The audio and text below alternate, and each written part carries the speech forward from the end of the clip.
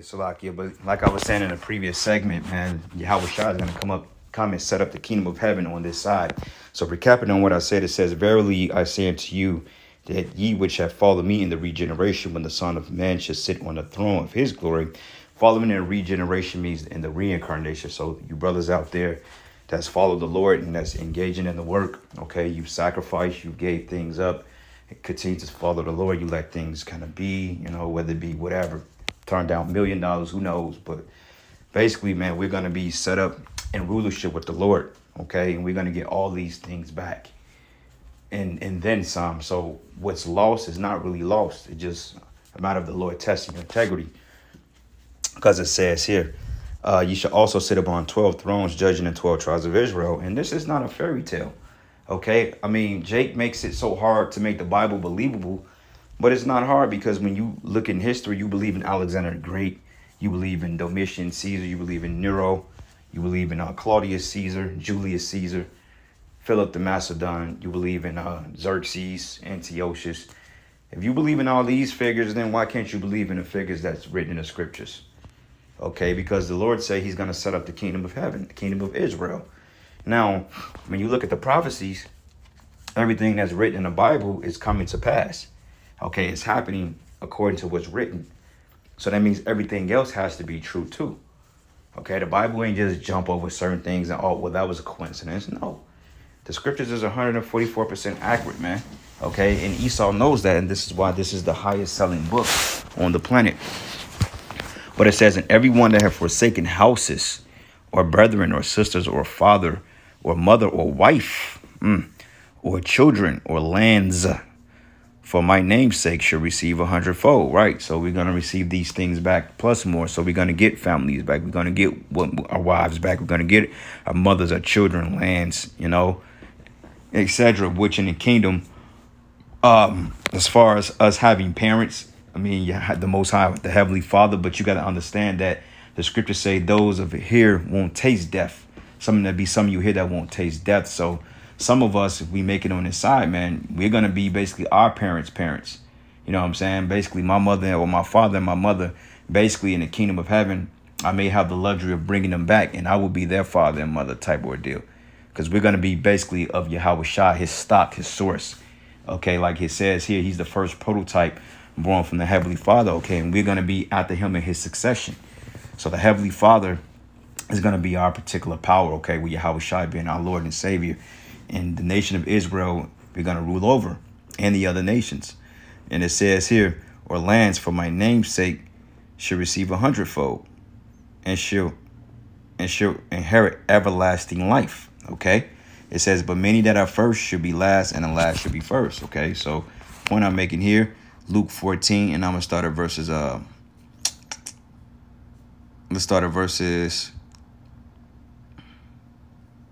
Let's start at verses 22 because this whole thing is about going out there and waking the people up. So this is Luke 14 and 22. And the servant said, Lord, it is done as thou hast commanded, and yet there is room. And the Lord said unto the servant, Go out into the highways and hedges, and compare them to come in, that my house may be filled. And this is why we go out to the streets, okay, to teach and to wake up those who this is for. Those that this is not for, then, you know, they just don't catch on to it. And you can obviously see that with the back and forth and the different dynamics we have with different Jakes, even with different camps, whatever, that come up against us. You can see it.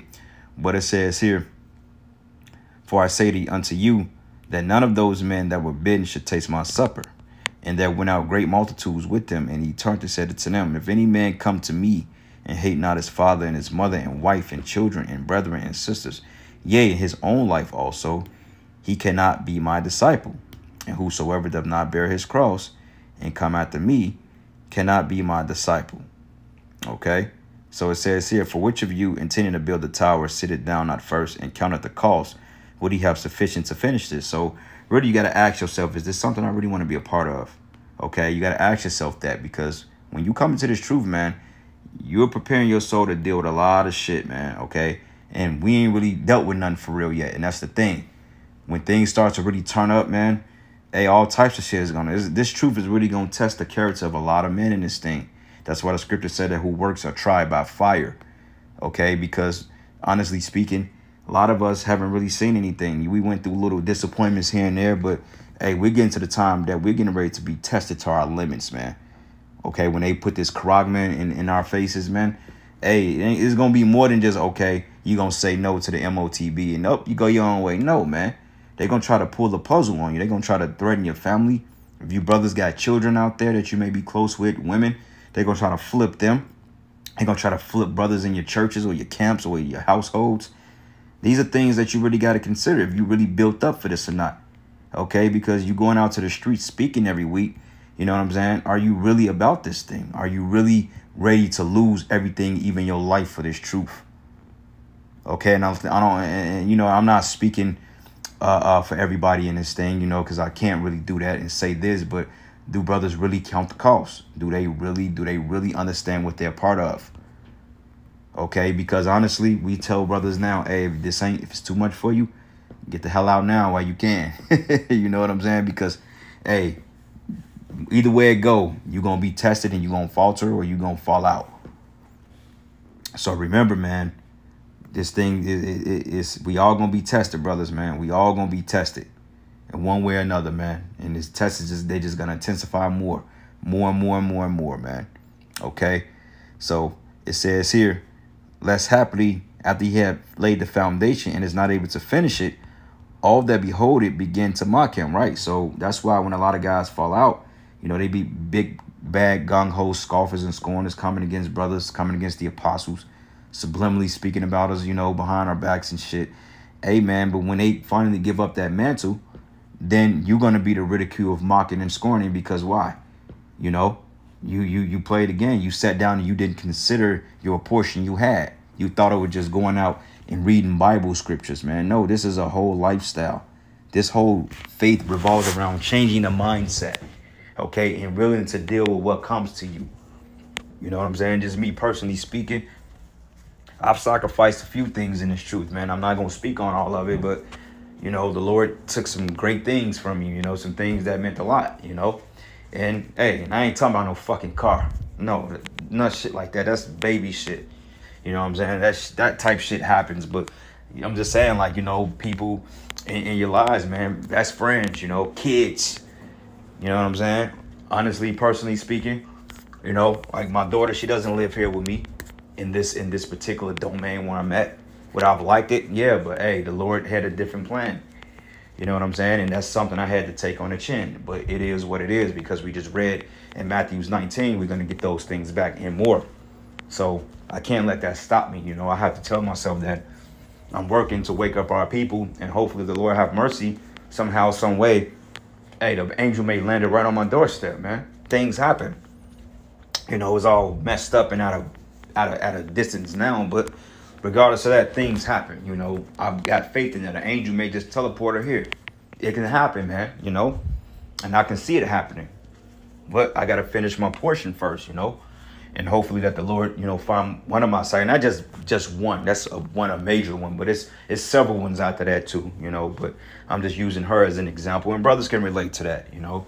Brothers have lost women they love. They they lost houses. They lost all types of shit you know, for the Lord. So, hey, that's a noble thing, you know. And it says here, saying this man began to build and was not able to finish. Okay, so that's the point. We got to finish this portion and coming into this faith is a sacrifice too, man. Because like I said, man, you're sacrificing time, you're sacrificing livelihoods. Hey, your job may see you out of there, out there. You may have an opportunity, and then they see you out there on the streets. They could say, "Oh, you preaching hate and you preaching venom." You preaching aggression, you preaching all this other madness, you know, they may just find a way to fire you, man. Okay, so you're risking your freedom too, because technically, what they're trying to say we're doing is high treason, which that's not true. Because honestly speaking, we have what you call the First Amendment. But once the this is done away with, we're not going to be able to go out on the streets when martial law is declared. We're not going to be able to go out on the streets and prophesy every week.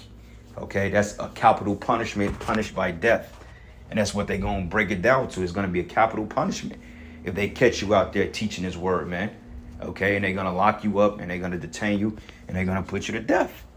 And honestly, us being on the YouTube talking, we are already slated for capital punishment. It's just a matter of time when they can make shit stick on us. Don't think they ain't trying to find something on us, man. Don't think they ain't sending people around you and to your homes and to your jobs to get information from you to see what kind of mindset you have. Don't think that they're not gonna pay off people in your corner, people in your family to lie on you, man. Be very don't don't be surprised on when they start to try to locking brothers up and putting brothers on the on the podium or on the on the council stands. And don't be surprised if you got everybody that you thought was for you in your and that you thought was in your corner. That's basically gonna testify against you.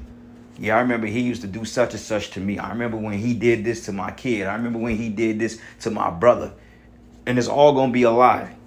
You know what I'm saying? And it's all gonna be a lie. And that's all Esau gonna need to do to fucking throw you under the jail and bring you headfirst to the guillotine. You know, so yeah, man, it's it's it's a lot to think about. It is a lot to think about when you really think about what you in. It's a lot, man. It's not a light thing. You know, that's why I just don't get with certain guys, man. They think that this thing is a freaking joke. This thing is not no damn joke, man. You know what I'm saying? This is not a joke. That's why, hey, we always preach, put your best foot forward, man. Okay, because hey, you put your best foot forward. The Lord, He gonna deliver you through these things. Yeah, it's gonna be shitty, but He's gonna take you through each and every last trial, man. You know, you may not feel like you're gonna make it because you, you know, you get weak, your flesh get tired. You know, but hey, the Lord, man, He gonna bring us through it if we remain faithful, and that's the whole key: remaining faithful. You know what I'm saying? Remaining faithful, because when it gets scary, a lot of people gonna turn their back on the Lord and they gonna look the other way. I'm trying to tell you now, man. All right, so take heed. Uh, Matthew's 10 and 34. Matter of fact, let's start at verses uh 37. It says, He that loveth his father more than more than me is not worthy of me.